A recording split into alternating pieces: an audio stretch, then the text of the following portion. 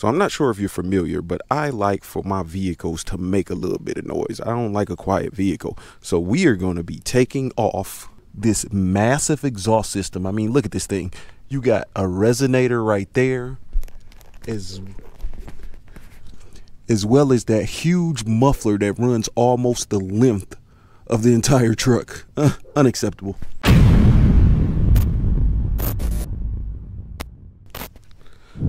Well, let's be completely honest. We not taking it off, but I'm going to get it done. But first, let me let you hear how this thing sounds with this exhaust system.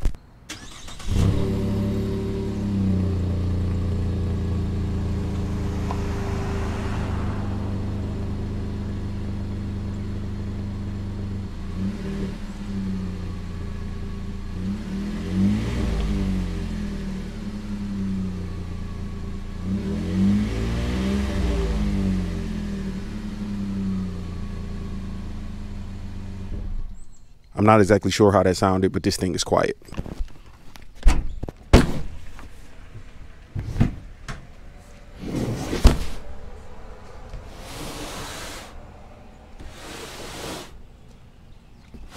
So this is the exhaust we're going to be putting on here, but let's get up here and see if they got time to fit me in.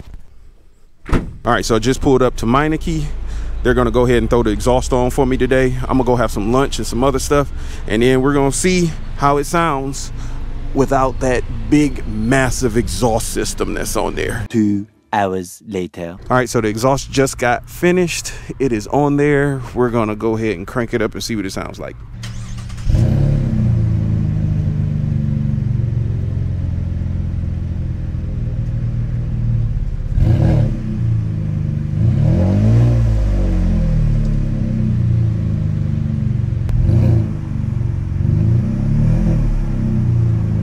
Many hours later. So the exhaust has been on for about a day now. I've seen a lot of videos prior to putting on my exhaust about the MBRP as far as if there's cabin drone and any noises that resonate throughout the cabin. And going at slower speeds, you definitely hear some drone. It's not unbearable or anything like that, but we're about to hop on the highway and see how it sounds on the highway. All right, so we are turning onto the highway right now. So we're gonna get up to speed and find out if we hear any droning inside the cabin. So right now I'm right around 75-ish miles per hour. And honestly, the drone decreases, it seems like, the faster you go versus when I was going at lower speeds, I could hear the cabin drone a little bit more. So if you had this exhaust on your car and you're gonna be doing like longer highway drives at around 60 to 80 miles per hour, I'm doing 80 miles per hour right now, and I'm not really hearing anything in the cabin. If I had the music on, it'd be completely comfortable. So I'm giving the exhaust a thumbs up for right now. It does have an awkward sound. It takes some getting used to because I'm used to a V8 and the Flowmasters on my V8, the V8 puts out a deeper sound. This one's a little bit more throaty. It doesn't sound like a Honda fart can or anything like that, but it's definitely a sound that I got to get used to. It it kind of sounds a little bit like a truck, but it also kind of sounds like a tuner or a sports car. It's kind of a mix between those three. And if I can, I will try to get you some clips of the truck pulling away so you can hear it from the outside really quickly here at the end of the video. Let me get to where I gotta go and we will um, check back in then.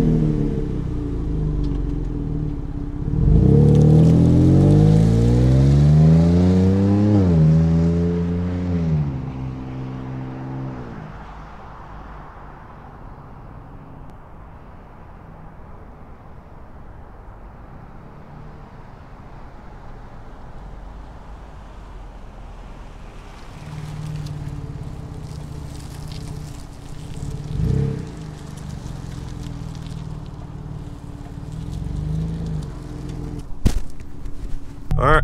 Oh, seatbelt. All right, so there you have it. You got to hear what it sounds like pulling away. Let me know y'all thoughts. What do you think the exhaust sound like? Did I go with the right choice? I know this ain't no motorcycle content, but the next video will be. Make sure you hit subscribe, like, and comment. Share the content. If you were thinking about getting this exhaust, let me know if this video helped you out. But I will check y'all out in that next one. Deuces.